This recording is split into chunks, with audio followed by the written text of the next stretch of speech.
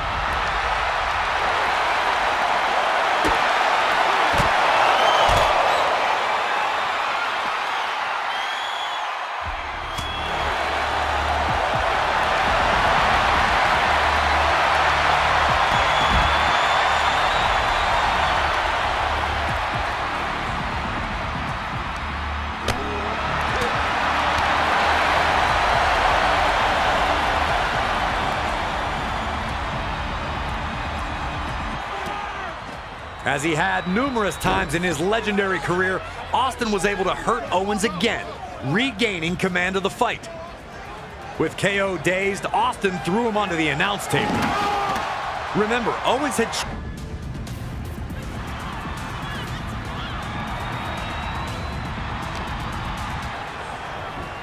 Perhaps getting a little too comfortable, Austin appeared to...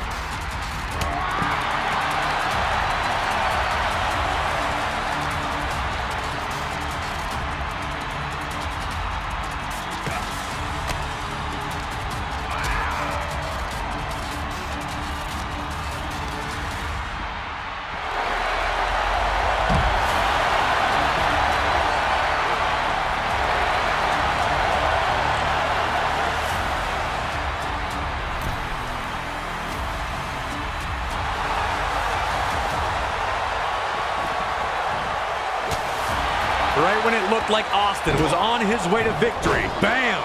KO shocks the whole building by dropping Austin with a stunner.